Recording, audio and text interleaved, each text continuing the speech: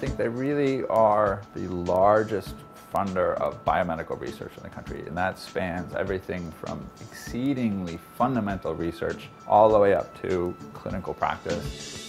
So the tenure track is very similar to the way it works at a university, but basically, so I finished my postdoc a little over three years ago.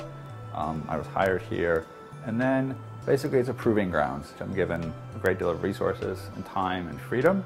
Basically, they make a decision about the work that I've done. Is it up to snuff? Is it up to the, the level of the NIH? The best part is the fact that I can stay engaged in the research.